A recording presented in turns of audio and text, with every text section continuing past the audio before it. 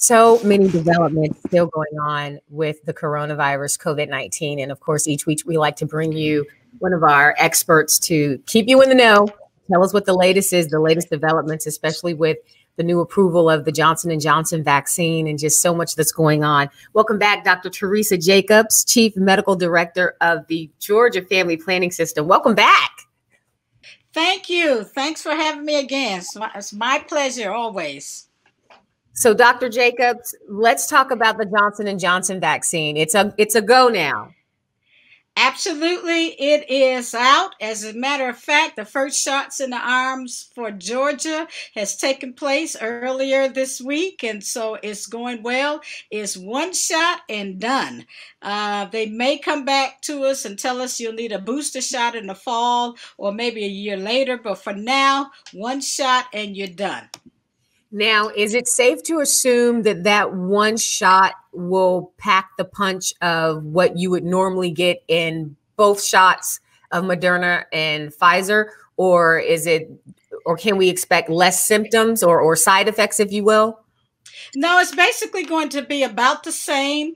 Uh, it is um, um, in the United States, it says that it's about 72% effective, uh, but I don't want people to think because it's 72%, it doesn't do what it's supposed to do. Uh, remember that viral vaccines, ordinarily between 40 to 60% is considered great, extremely effective, and so J and J is at 72%. But the key to it, because uh, it matches the other two vaccines that are out, they are complete protection against COVID related hospitalizations and deaths. So let me say that another way mm-hmm. no deaths, no hospitalizations after this vaccine, just like the other two vaccines. So that's the clincher to this that nobody has died, nobody has even been hospitalized because of severe COVID disease as re- after getting uh, this particular vaccine, uh, just like the other two. And I just think it's incredible. And I just, every time I see that, oh, the people getting their shots and the doses are rolling out, I get really excited because what soon we could be at that herd immunity if we keep up the pace, correct? Absolutely. We're shooting for, we need about 80% of the uh, population or the adult population to be vaccinated. And uh, the fact that we're uh, over millions and millions have now gotten that vaccine. And it looks like by the end of May, as our current administration has announced, there's going to be enough vaccines for everybody that wants the vaccine, all the way down to the age of 16. So I think that is fantabulous news. It is fantabulous news, Dr. Jacobs. I love it. And and also, you know, we just want to keep reminding people that you could experience some side effects when you get the vaccine. And it varies from person to person because both of my parents have now been completely vaccinated. My mom was down for a good 36 hours. My yeah. pop, he had a little soreness, he had a couple little bit of chills. That was it. He didn't even take the day off. So he just was like, you might, you know, you might want to take the day off considering how it affected mom. then he would take the day off. He was fine. So it, it, it definitely varies from person to person. But if you experience some side effects, don't freak out. Don't freak out and take something. Take Tylenol, Advil, Aleve, Motrin.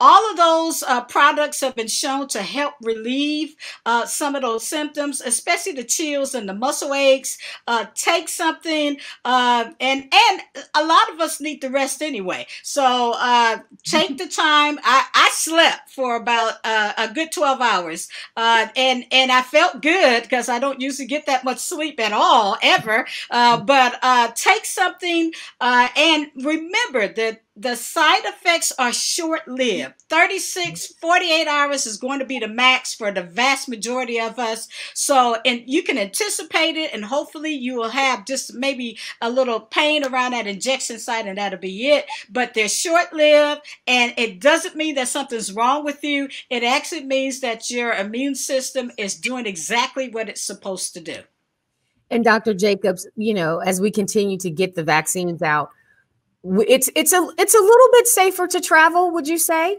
Oh, absolutely. All my doctor friends have already got their trips booked to Jamaica and a couple other places.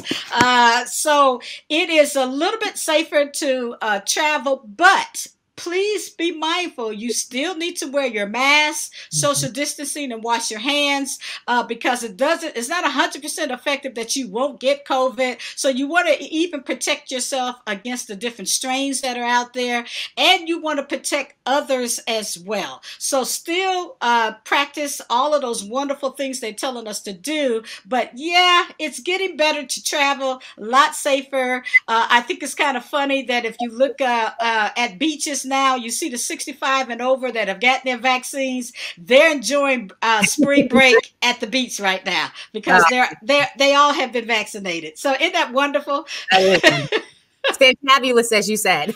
yes, fantabulous. and Dr. Jacobs, is there anything else in particular? Um, how we are getting the vaccines out.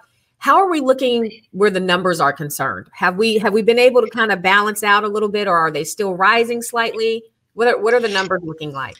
Yeah, we in certain states, like in Mississippi, Texas, the numbers are going up, which is interesting because they're backing off of um, restrictions. Georgia is at a steady state, and so we still, which means that we still need to be careful, everybody. Uh, even though Georgia's looking pretty good right now, so um, and they're going to start releasing or backing off on some of the restrictions, but mm-hmm. just still be mindful uh, that the numbers could go back up because of those variants that that are out there. So still make sure that you're doing those things that they have recommended you to do.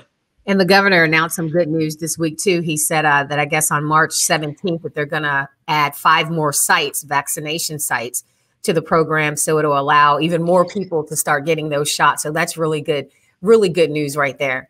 Yeah, it's absolutely great news. And guess what? Teachers what? are going to be included. And so there are going to be some mass vaccination sites just for our teachers. And so our educators and the staff uh, uh, in the schools will be able to have an opportunity to be vaccinated within the next couple of weeks. Isn't that wonderful news? Now I'm going to go back. I'm going to go back to fantabulous news.